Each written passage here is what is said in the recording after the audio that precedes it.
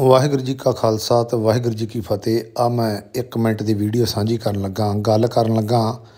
ਇਹ ਨਰੈਣਗੜ੍ਹ, ਹਰਿਆਣੇ ਦੇ ਵਿੱਚ ਆ, ਜਿੱਥੇ ਨਾਇਬ ਸੈਣੀ ਨੇ ਆਉਣਾ ਸੀ, ਮੁੱਖ ਮੰਤਰੀ ਨੇ। ਤੇ ਉੱਥੇ ਗੁਰੂ ਮਹਾਰਾਜ ਦਾ ਪ੍ਰਕਾਸ਼ ਆ ਤੇ ਕੋਟ ਬ੍ਰਹਮੰਡਾਂ ਦੇ ਮਾਲਕ ਦਾ ਪ੍ਰਕਾਸ਼ ਹੋਵੇ ਤੇ ਉੱਥੇ ਪੁਲਿਸ ਜਿਹੜੀ ਦੇਖੋ, ਤਲਾਸ਼ੀ ਲੈਂਦੀ ਆ। ਇਹ ਸਬੂਤ ਕੀ ਆ? ਇਹ ਸਬੂਤ ਆ ਮਰੀਆਂ ਜ਼ਮੀਰਾਂ ਦਾ, ਹਰੀਆਂ ਜ਼ਮੀਰਾਂ ਦਾ।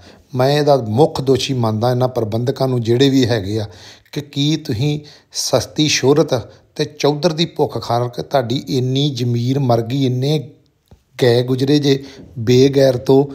ਤੁਸੀਂ ਪਹਿਲੀ ਗੱਲ, ਇਹ ਬੰਦੇ ਚੜਨ ਕਿਦਾਂ ਦਿੱਤੇ ਉੱਤੇ ਇਹ ਚੜ ਹੀ ਨਹੀਂ ਸਕਦੇ। ਉਹਨੂੰ ਕਹੋ ਜਦੋਂ ਚੌਂ ਜਹਾਨ ਦਾ ਜ- ਵਾਲੀ ਜਿੱਥੇ ਸਾਹਿਬ ਸ੍ਰੀ ਗੁਰੂ ਗ੍ਰੰਥ ਸਾਹਿਬ ਦਾ ਪ੍ਰਕਾਸ਼ ਆ, ਉੱਥੇ ਪੁਲਿਸ ਫੜਕ ਕਿਦਾਂ ਜਾਵੇ? ਉੱਥੇ ਪੈਰ ਕੋਲ ਰੱਖ ਕਿਦਾਂ ਜਾਵੇ? ਨਾਲੇ ਉੱਥੇ ਇਹ ਕੌਣ ਹੁੰਦੇ ਨੇ?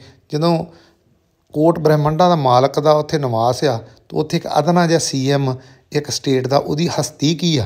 ਸਿਰਫ ਇਹ ਪ੍ਰਬੰਧਕਾਂ ਦੀ ਭੁੱਖ, ਚੌਧਰ, ਸ਼ੌਹਰਤ ਕਰਕੇ ਅਸੀਂ ਆਪਣੀ ਸਿੱਖੀ ਨੂੰ ਆਪ ਨੀਵਾ ਵਿਖਾ ਰਹੇ ਹਾਂ।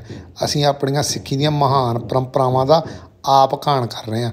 ਮੈਂ ਕਹਿੰਦਾ, ਤੁਹਾਡੇ ਦੁਰ ਫਿਟੇ ਮੂੰਹ ਜਿਹੜੇ ਵੀ ਤੁਸੀਂ ਪ੍ਰਬੰਧਕ ਜੇ, ਇਹੋ ਜਿਹੇ ਕੰਮ ਕਦੀ ਨਹੀਂ ਹੋਣੇ ਚਾਹੀਦੇ। ਸਿੱਖ ਕੌਮ ਨੂੰ ਇਹਦੇ ਪੁਰਜੋਰ ਵਿਰੋਧ ਕਰਨਾ ਚਾਹੀਦਾ ਤੇ ਐਕਸ਼ਨ ਲੈਣਾ ਚਾਹੀਦਾ। ਧੰਨਵਾਦ।